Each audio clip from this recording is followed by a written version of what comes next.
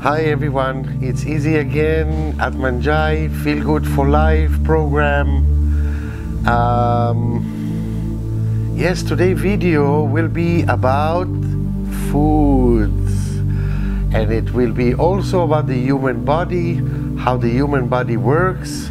Very simple, uh, clear explanation and also talking about our digestive system that is actually the one integrating the food into our body.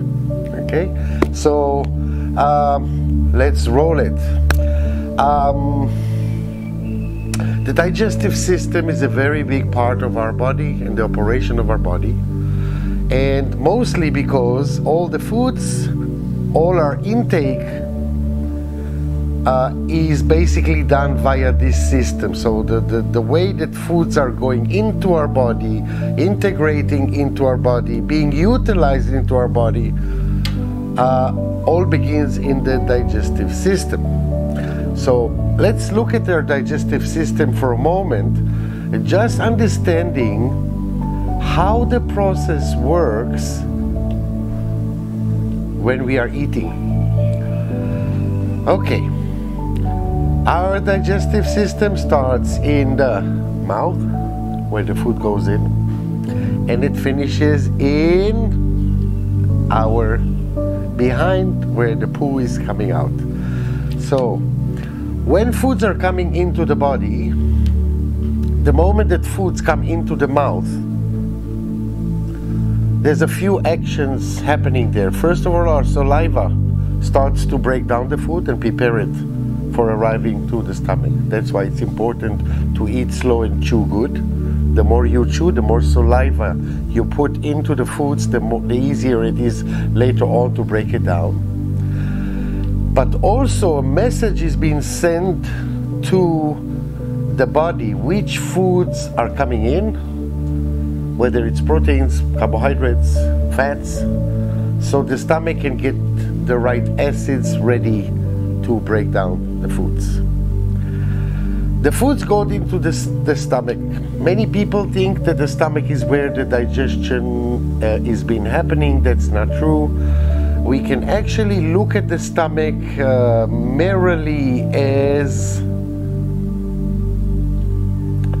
a blender.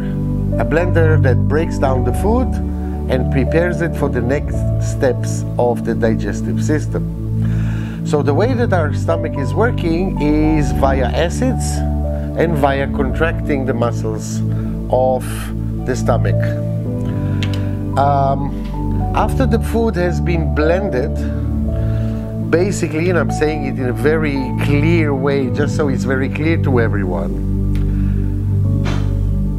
the food is being transferred into the small intestine. Small intestine is actually where the food penetrates into the bloodstream and carried onwards for our ingestion. All the foods that the body can utilize is going to the small intestine.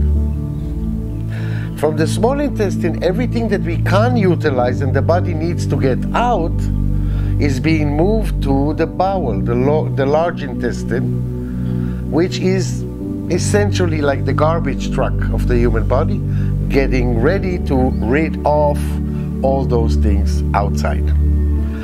So we stop for a moment in the small intestine. The small intestine puts all the nutrients, the ingredients of the nutrients into the bloodstream and carried via the blood. Where are they being carried to? And the answer for that is basically for the small cells. So our body is built all from cells. Uh, we have blood cells, skin cells, muscle cells, uh, white cells, red cells, bone cells. Everything is cells in the human body. And every small cell like that have a very delicate chemical balance. Okay? Every little cell like that needs to have oxygen, it needs to have water and it needs to have nutrients. Nutrients coming from food. Those nutrients are basically can be broken down to vitamins, minerals, and enzymes. So the nutrients goes into the small cell, the water goes into the small cell, the oxygen goes into the small cell. Then the cell is doing its chemical reactions, utilizing whatever it needs to, and whatever obviously from these chemical reactions they are waste matter that the cell secretes back into the bloodstream in order to move them back out to be secreted out from the body. Okay, so it's important to remember the cell, the nutrients that the cell needs, vitamins, minerals, and enzymes, and the fact that real ingestion of the nutrients is happening on a cellular level, and at the same time that everything that we don't need is going to be put out from the body either via sweating, which is one of the toxin elimination centers, via the breath, via the pee system and the kidneys, and via the large intestine, the bowel, and the poo. Okay, so this ingestion and extracting all the toxins that the body doesn't need, those are two very important fundamental of our um, digestive system and therefore also on other systems uh, in the human body. So we need to have the understanding that the, the gut or the, the digestive system that we call the gut as a one name for the whole system obviously have a lot of other organs like the liver, the pancreas, the gallbladder, uh, that are helping in, in, in all this process. But I'm trying to keep it really simple so you can have a good understanding. If you look at our digestive system, you can see very clearly that it's very, very, very, very long. Actually, normally three times higher longer than our height. So if a person is one meter 50 centimeters, his digestion will be somewhere around four and a half meters. Okay, this digestive system is similar to other animals in nature that eat plants. Okay, if you take any predator in nature, they will have a completely different, uh, very different. Uh, um, digestive system which is very short and very strong and acidic. Okay, so when a predator is eating meat, it basically also you can see their teeth is very different. Teeth of predators are just made to cut the meat and swallow it as it is. And the their digestive system is so strong to break down the meat and, and eliminate it very quickly. So we need to chew the food. We have a different tooth teeth system, a different digestive system than predators. That's why, in general, humans should not eat uh, uh, meat. And we also have this uh, myth around us from a story that has been around for many, many years is that we need proteins in order, proteins uh, that we definitely need proteins, but we don't need proteins from uh, live from animals. Okay, uh, they have a lot of bacteria. They create a lot of uh, uh, problems in our artery system, creating plaque and, and, and hardening of our vascular system. Okay, so we established that and explained a little bit how the uh, um, um, digestive system is working. Only one thing that I will mention here is that when we made the separation between the small intestine and the bowel, everything goes to the bowel, has to be eliminated from the body.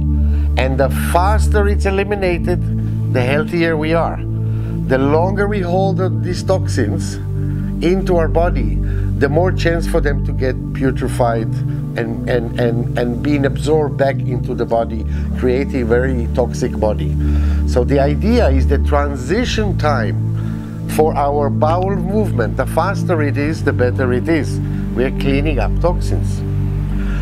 So um, now, understanding that we can really understand that the types of food that we are eating can also affect a lot of other systems in the body including the elimination system that will slow down the more we eat, uh, let's say, bad foods.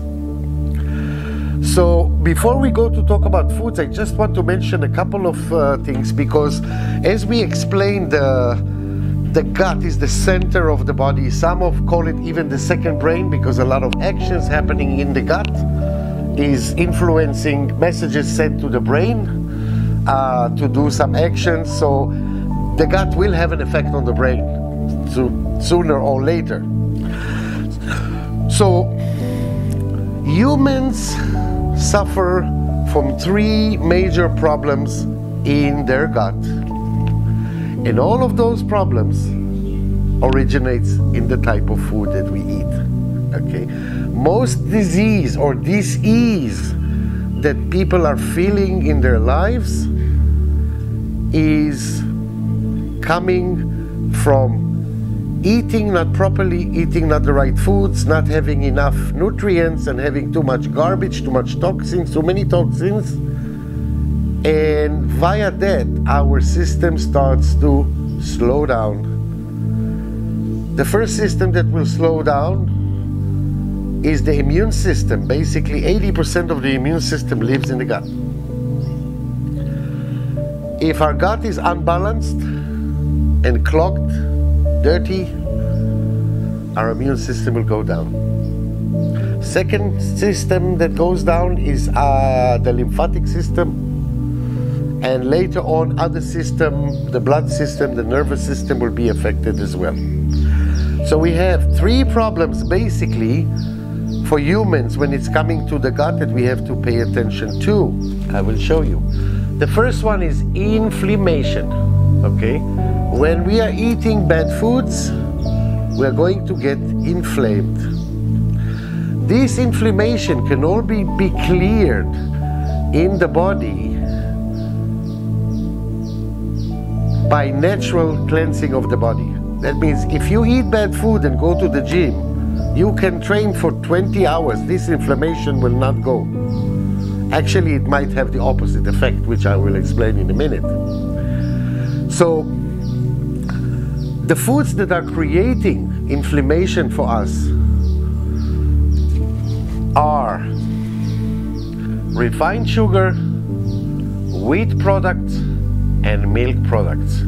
Any one of those three, refined sugars, wheat products, and milk products, each one of those, when coming into our gut, will create inflammation.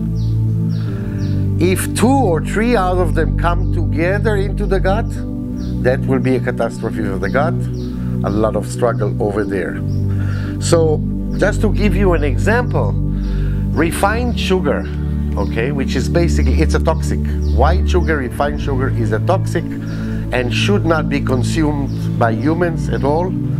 Unfortunately, the way that our society have evolved in the last 50 years, you can see we are all consuming a lot of sugar. If you go to the supermarket, 80% of the products in the supermarket have sugar in them, uh, visible or hidden.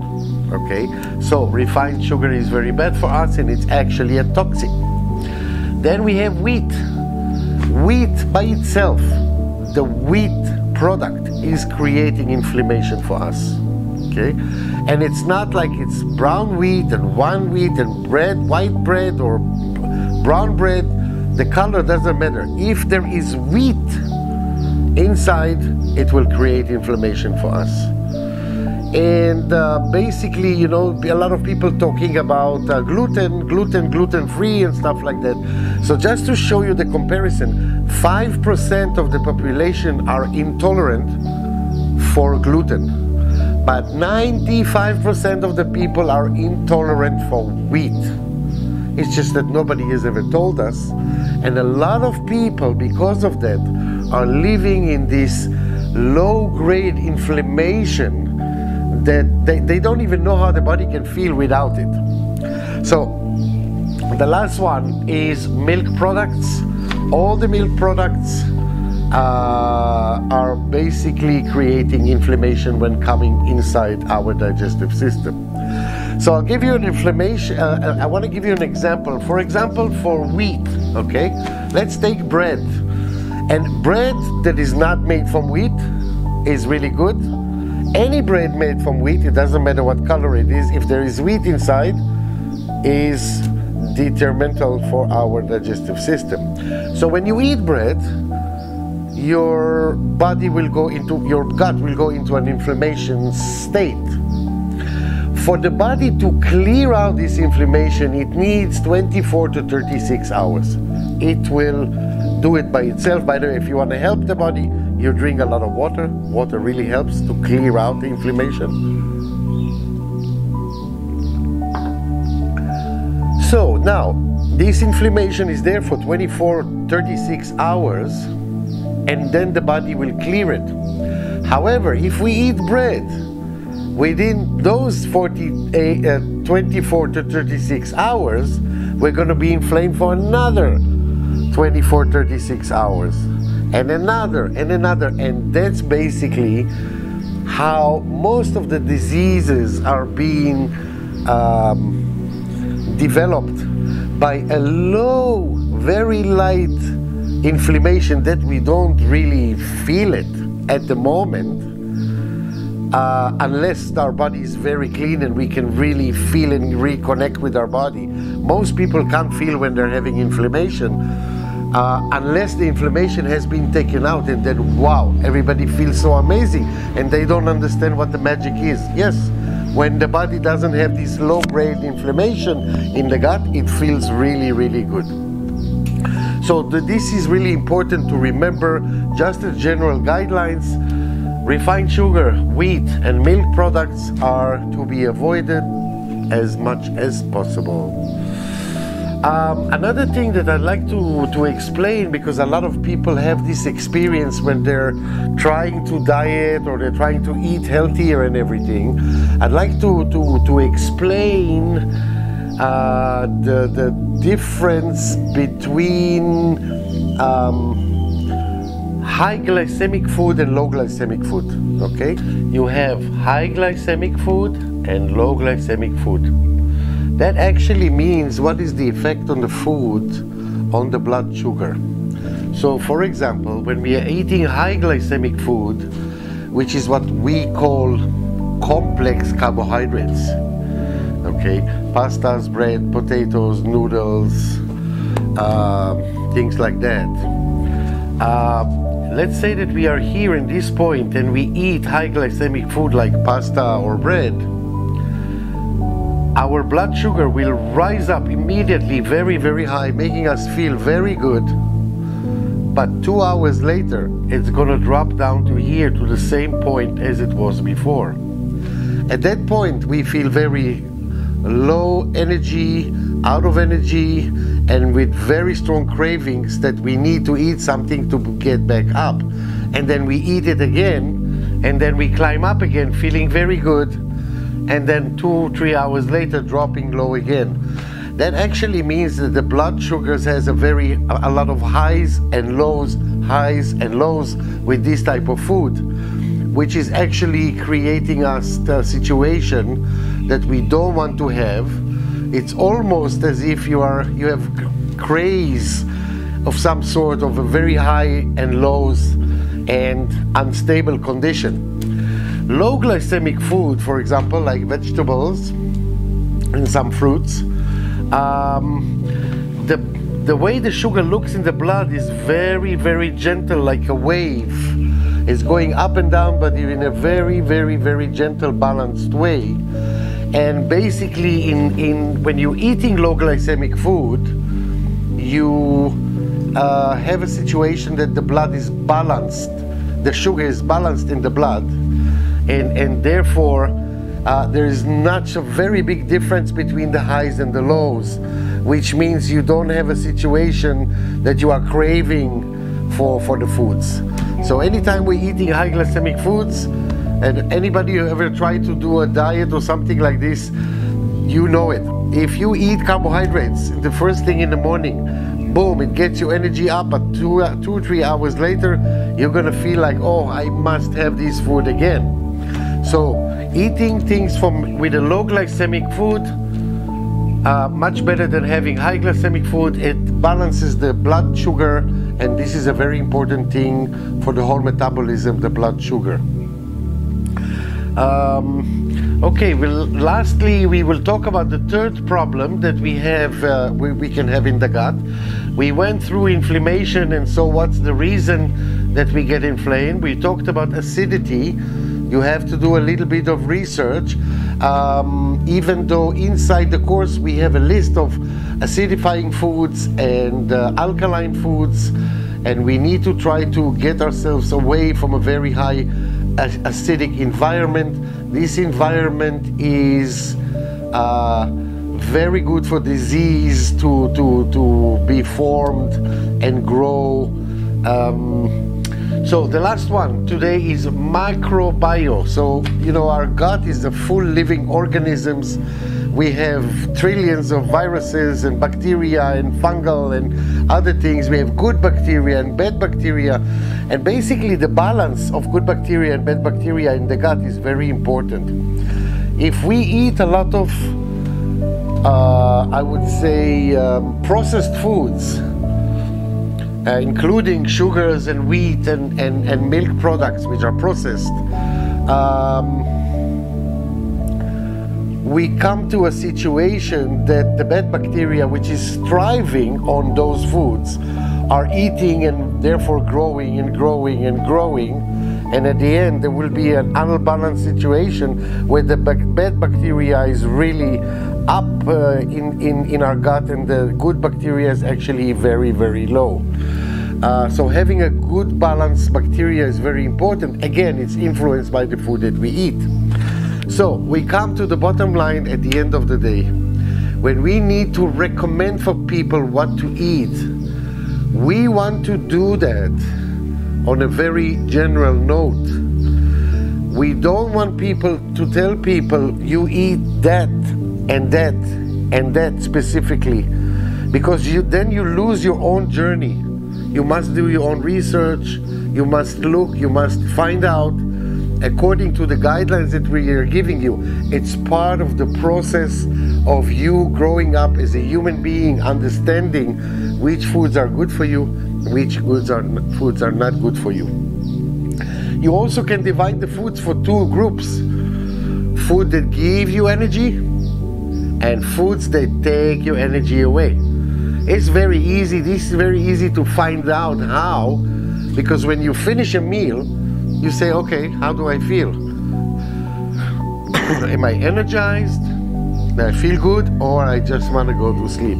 If you just want to fall asleep and go to sleep, that means the foods that you were eating were too heavy for you and they take away your energy. After a meal, you should feel really light and, and rejuvenated and, and energetic.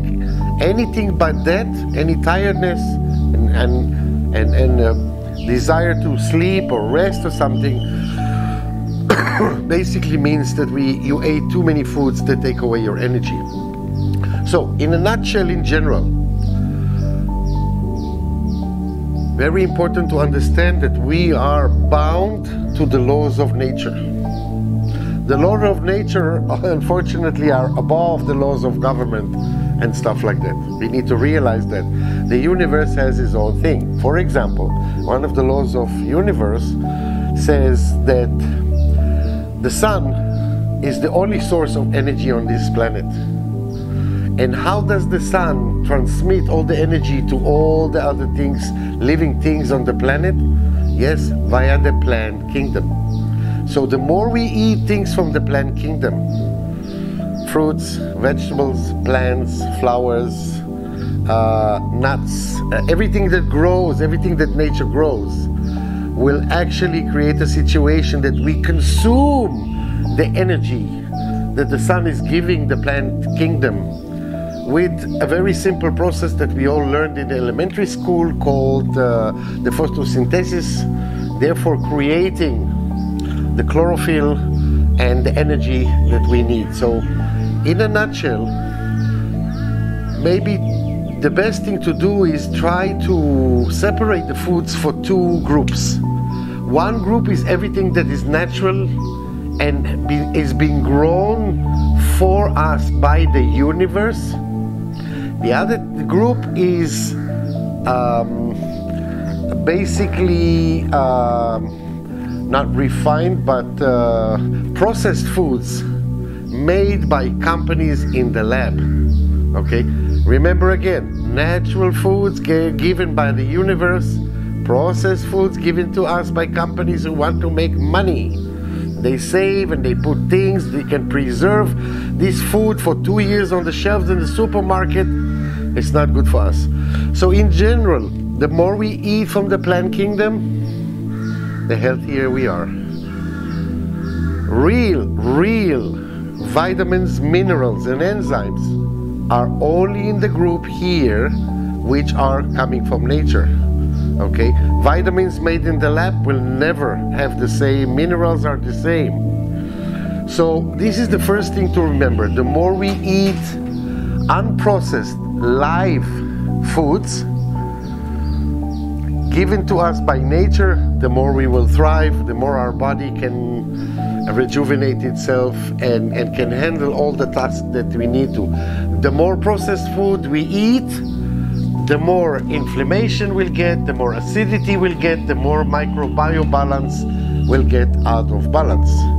So this is the general thing that we should remember. And uh, you know, when you're eating fruits and vegetables uh, or anything else from the plant kingdom, if it's cooked, it's not bad for us, but it doesn't have all the right ingredients that we need.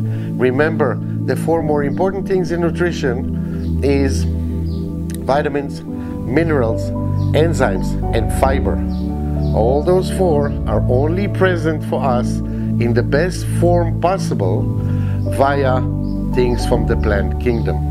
So if we keep that in mind, we can keep 70%, 80% of our food healthy and the other, of course, the healthier you want to be, the more you have to stay away from the processed foods. Uh, what, um, you know, in our society, we also have a tendency to label junk food, okay? And uh, okay, if somebody is asking you, oh, is a burger junk food? Of course, you will say, yes, absolutely, junk food. Burger, French fries, you know, it's we have the association it's junk food. But at the same time, if somebody will ask you, well, in a two star Michelin restaurant, you can have a beautiful steak with mashed potatoes, truffle mashed potatoes, and a glass of wine and everything. You need to realize it's as junk as the burger. There is no difference. It's just packaged differently, it's looking differently, but it's the same thing. So, for us to eat healthy, we need to stick with nature and we need to stick with things that are alive. It doesn't mean you can't eat soups. You can eat soups, they are not bad for you. Maybe as a beginning part of the diet, you can have a soup every time before you have a salad. You'll get full quicker if you're really, really hungry. But very important is to have fresh fruits, vegetables from the plant kingdom, raw, fresh, live foods. So this is all for today. I hope you got the, the general picture. We will also do one video just for foods and you know what is recommended and stuff, stuff like that. But remember, it is your own duty, it is your own responsibility to take care of your health. Therefore, it's your responsibility to search not only with knowledge, also with feeling. After you eat something, how do you feel? do you really feel good after you eat something or you feel like you just want to go to sleep and finish the day pay attention also that dinner mostly is the heaviest meal for all of us and that's also something we need to think about dinner should be the lightest meal from all the meals because we are finishing the day and we are about to go to sleep um, but, you know, the way that things go in our society, the free time that we have is mostly in the evening, and then we get bored and we eating and social eating and stuff like that. So This is an important note to keep in our mind. Dinner should be the lightest meal in the daytime. If you want to eat more, you eat more in the morning or at noontime when you still have seven or eight hours of uh, using the energy that they utilize those foods. So I hope this makes sense. I hope you understand a little bit more about our body and how the systems are working, especially our digestive system. And connected with that is the elimination system, which is very important for us. And uh, you also can understand the connection between food, so we can actually manage our gut by the foods that we are eating. That's why it's so important to eat healthy. So thank you for, for, for your time and patience and I hope that, that things are starting to fall into pieces for you in your head and uh, to, to help you to carry yourself to a better place than you are today. Have a nice day. Thank you.